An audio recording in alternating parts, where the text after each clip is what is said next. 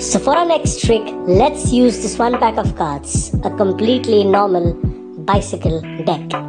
Now, in this trick, the spectator has to go ahead and choose any random 5 cards. Now, this step is completely done by the spectator.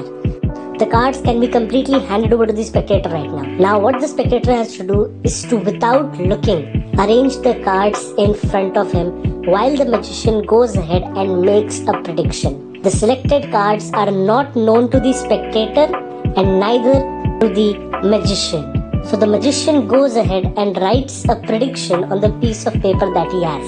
The prediction will now be set aside for now, but will always be in sight. Now the cards are arranged, and now the magician asks the spectator to go ahead and touch any card that he wants. Literally any card, any card. The cards are unknown to both the magician and the spectator. Spectator goes ahead and touches the last card in this case. And the last card happens to be the Nine of Diamonds. And the prediction that the magician made was none other than the Nine of Diamonds. And yes, the cards that are kept in front of us are completely different. It's not being repeated. And also, the deck can be examined, everything is examinable. Everything is examinable.